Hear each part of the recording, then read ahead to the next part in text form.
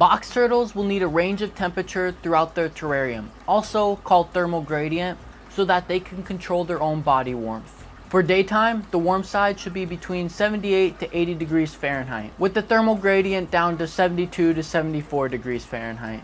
This can be done usually by properly setting up the basking spot. With the temperature between 85 to 90 degrees Fahrenheit, the basking spot usually emits enough surrounding heat to properly achieve a warm side in the terrarium during the day.